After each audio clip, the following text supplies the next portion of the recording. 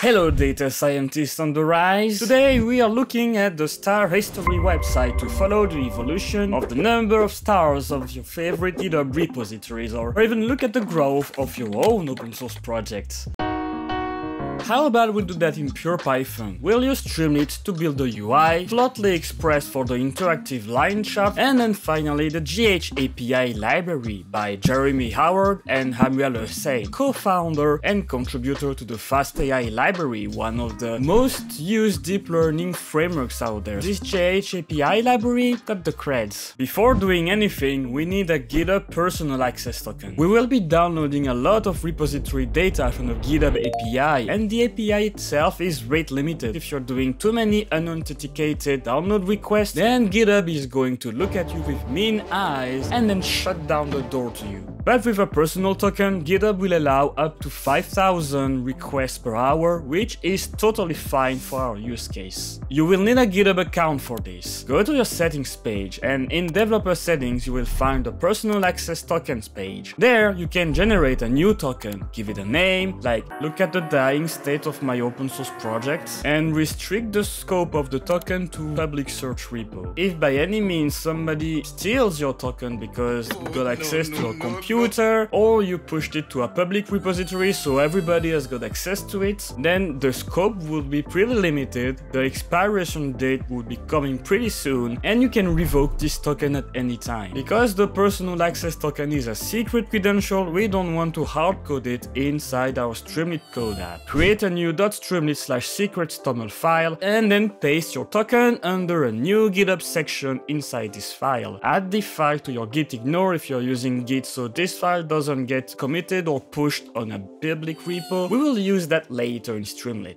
Create an empty file next to your .streamlit folder and then run it through the streamlit run command. Add a title and a header in the sidebar and then make sure your Streamlit app is updated. And then celebrate that small victory. Let me write down all of the features we want in our Streamlit app. I want to create a new connection to the GitHub API using my personal access token, check our rate limit just to make sure that we're not over doing it, add a text input so any user can add any number of GitHub repositories to analyze and hmm. plot, check that each repository actually exists, download the star metadata for each repo into a single data frame, and then plot this data frame. If we look at the result of the API, we get a list of users with the date at which said user starts the repository. The way I envision this data frame, save each date inside a column and then add a count next to it in a new column. That way we can build a cumulative sum to get the evolution of the number of stars for each repo. And then we add a column with the name of the repository. Let's start with text input. So I'm going to use a text area instead and then consider that each line in the text area represents a repository for the user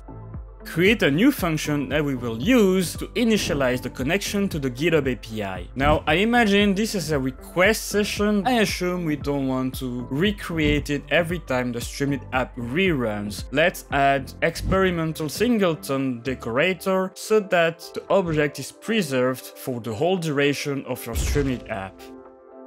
Let's also create a check rate limit method. That's just to make sure that we don't get the GitHub API angry. Before going further, we want to check that each repo actually exists. Create a check repo method. In the body of this function, let's try to fetch the number of stars that the repo currently has. And if we get an error, we will just assume that the repo does not exist. Now we're going to assume that the existence of a repo does not change during the duration of our Streamlit session. So you can just cache this information using the experimental memo decorator at the top of this method. Now you just iterate through through each line of the text area and check that the repo exists. Time to download the information of all the stargazers. If you're trying to use this app on like bigger projects like Streamlit itself, the Streamlit repository has almost 20,000 stars. That's more than the number of visible stars in the sky. We're not downloading all of them in one go. What the GitHub API does is it paginates the results. So it will send you a first page with 100 users, then a second page with the next 100 users, the third page, fourth page, and etc. You would be the one to download each page from the first to the last to get all of the user information. Fortunately, the GH API library provides a pages and page iterator that is going to download all of the pages for you. To use this iterator, we only need the number of pages that the request has. And then we can use this information inside our iterator to get all of the pages in one go. Now we can iterate. For each page in all of the pages of the endpoint, you can loop into each user inside the page and extract the date information. Nested list comprehension. That way we get a flat list of all of the dates. Now if we build a list of dictionaries with the date and count as keys, we can use that list to build a new data frame with the date and the count as columns. Before going further, those dates are still strings so we need to convert them to datetime objects. The data frame we have here has got very irregular time intervals. This is not amazing for time series analysis. What we can do is resample this time series so we got the number of stars for each week of the year. To do that we can use the resample method on the date column. This is going to group the date in the same week together and accumulate the counts for those dates together. It's our job to define how we accumulate those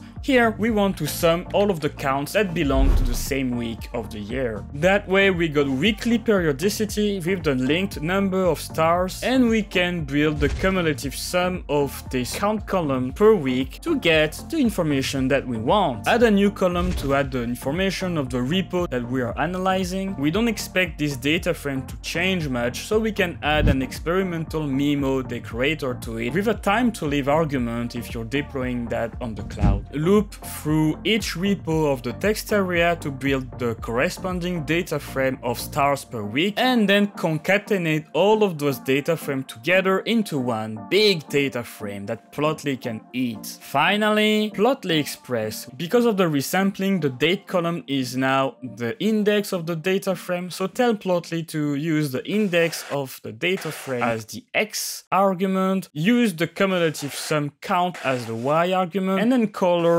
each line by the repository column. Let me also change the way the information is displayed when we hover over the line charts and then display it in your app.